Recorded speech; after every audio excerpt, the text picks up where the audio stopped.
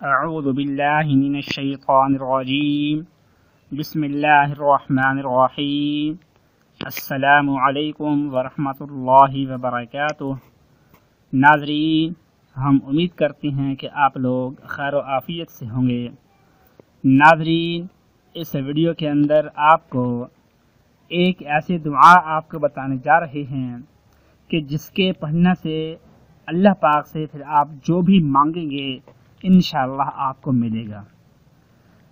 وہ دعا یہ ہے کہ اللہم حاضا اقبال لیلک و ادبار نہارک و اصوات دعاتک فاغفر لی۔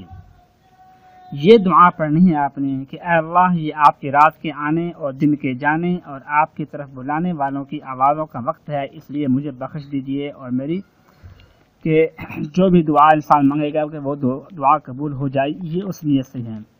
یعنی کہ آپ مغرب کی نماز کے بعد جب مغرب کی اذان ہو جائے تو اذان کے فوری بعد نماز پڑھنے سے پہلے آپ نے ایک مرتبہ صرف ان کلمات کو آپ نے دہرا لینا ہے اور جس نیت سے ایک تو آپ نے یہ دیا کہ یا اللہ میرے ہر قسم کے چھوٹے بڑے تمام گناہوں کو معاف فرمائے۔ پھر اس کے ساتھ آپ جس کام کی بھی نیت کریں گے کہ جو کام، کیونکہ ہر انسان کا جو بھی کام ہوتا ہے، وہ اس کو پتہ ہوتا ہے کہ اس کا کون سا کام زیادہ ضروری ہے اور کون سا کام زیادہ ضروری نہیں ہے۔ کہ وہ نہ بھی ہو تو اس کا گزارا چل جائے گا۔ کہ ہر انسان کی اپنی خواہش، اپنی ضروریات کے مطابق ہوتا ہے۔ تو آپ کی جو بھی خواہش ہے، جو بھی آپ کی حاجت ہے، جو بھی آپ کی ضرورت ہے، بڑی سے بڑی حاجت، جو سالوں سے آپ کی حاجت پوری نہیں ہو پا رہی، تو اس کی بھی آپ نیت کر کے ایک مرتبہ ان کلمات کو آپ پڑھ لیں۔ پھر اس کے بعد نماز کی مغرب پڑھیں۔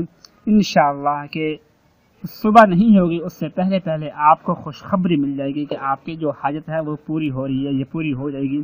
یہ اس کے پورے ہونے کے آثار آپ کو نظر آ جائیں گے انشاءاللہ۔ دعا ہے کہ اللہ پاک ہم سب کے ہر قسم کی تمام حاجات کو پورا کر دے۔ آمین، ثم آمین۔ اپنا خیال رکھیے گا۔ اللہ حافظ۔